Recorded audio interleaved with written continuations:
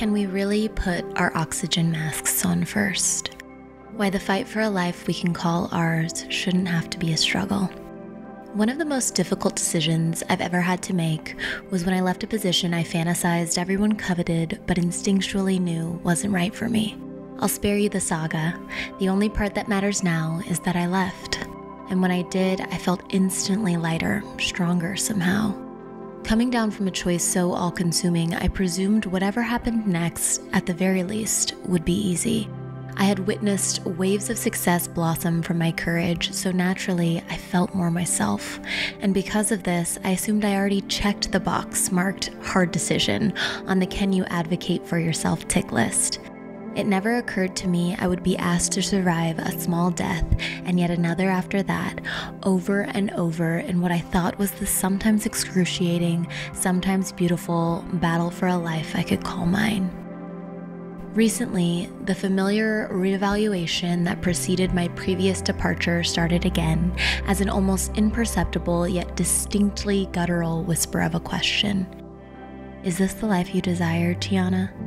I would be lying if I said I wasn't surprised. Three years had passed. No longer was I the worried 20 something pining for everyone's approval. I had built a six figure company with my own two hands. I had a team of smart women and champions by my side. My home life felt sturdier than ever. Everything appeared to be in order, at least on paper. Older, wiser, and strapped with more confidence, I set out again, this time on a new quest to cut through the debris that somehow still managed to calcify around my desires, in hopes of making way for a more resonant path forward. I was a boxer, returning at peak fighting weight. The new me didn't think twice about leaving money on the table because certain projects didn't feel aligned. The wiser me wouldn't bat an eye when clients decided to break contracts early, too. I slayed inner demon after inner demon of low self worth and fear around everything I never anticipated having to face again. My worth, apparently decided by society on the basis of my beauty and age, my relationships, romantic or otherwise, how good I was at nearly everything being a boss, a daughter, a friend, with money, with confrontation, in bed. I attended countless therapy sessions, wrote in my journal every morning. I had strategies that seemed ironclad at the time. So when the anxiety sunk its rabid little teeth so far into my throat, I thought I might yield purely from desperation. I doubled down and gave generously instead. Like a drip, I kept returning to Jess Glynne's lines from Ain't Got Far to Go. I wasn't scared, I fought this on my own. You pulled me down and I let you go. I told you I would prove you wrong, and now I'm here and I'm standing strong. You want to know the sickest part of it all, though? Nothing changed, or at least very little. There were moments of temporary reprieve where I would catch a glimmer of false hope that maybe things could be different, only to plummet into yet another uncontrollable burst of depression at my desk, muffling cries so no one would hear my pain. Anxiety was one beast, but then came the doubt and despite my most valiant efforts, I started to question if I was equipped for this particular fight in the first place. Face down in the mud, exhausted after months of the same outcome presented with only a slightly different hue, I was desperate. Everything I attempted just wasn't working anymore. I tried to remain calm and rationalize.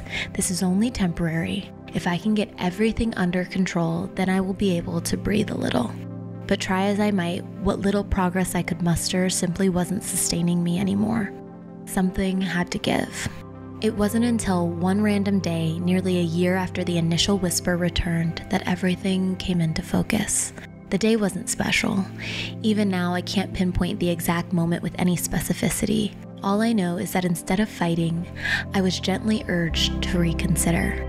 Maybe this fight feels lost from the start because it was never meant to be a fight in the first place. I am trying and failing to prove I deserve all these things I so desperately need to live my truth, space for self exploration, freedom, abundance, joy. And even though I never thought I'd have to return to this place, here I am yet again, fighting for a life I can truly call mine. But what if the things I crave, like air, were never meant to be fought for. And what if this beckoning I find peevish and unrelenting is merely a loving reminder that to access everything I'm aching for, I need only put on my oxygen mask first? It's funny because it's a visual we all know intimately. If I close my eyes, I can see the flight attendants in their matching outfits giving lackluster demonstrations in perfect timing in the middle of the aisles. The concept seems almost laughable.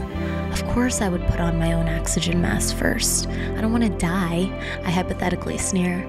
But let's face it, it's easier to prioritize others and the responsibilities we believe to be worthy in the eyes of others, even while our lungs slowly start to give out.